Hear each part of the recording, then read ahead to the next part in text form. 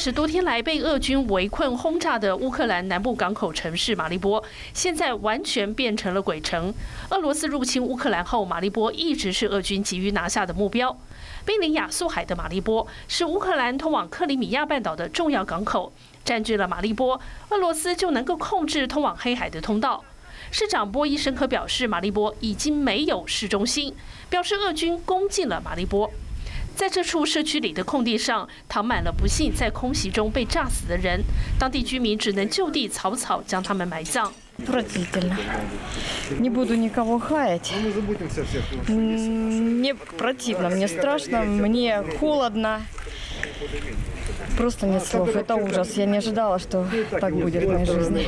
乌克兰武装部队总参谋部十九号也证实，俄军在乌克兰东部的顿内茨克部分地区作战成功，以暂时切断乌军通往亚速海的通道。乌克兰因此无法从克赤海峡这个连接亚速海与黑海的唯一水道进入黑海。南部城市尼古拉耶夫市内两个军事基地有数十名乌国士兵遭到活活炸死。但在一连串的坏消息中，也传出令人振奋的讯息。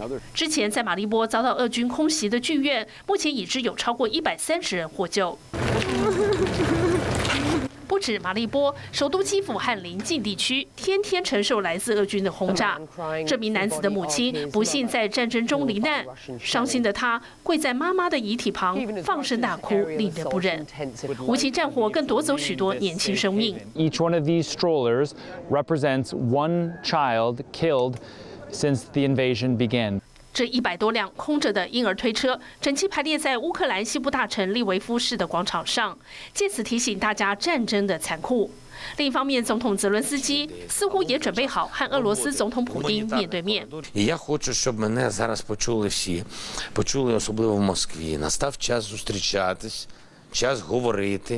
泽伦斯基说，乌克兰已提出维持和平的解决方法，希望尽快跟俄罗斯举行全面性、跟有意义的和平会谈。华视新闻综合报道。嗨，我是庄宇杰，想要看到更多的新闻内容吗？赶快订阅华视新闻的 YouTube 频道，并且开启小铃铛，跟着宇杰一起看新闻吧。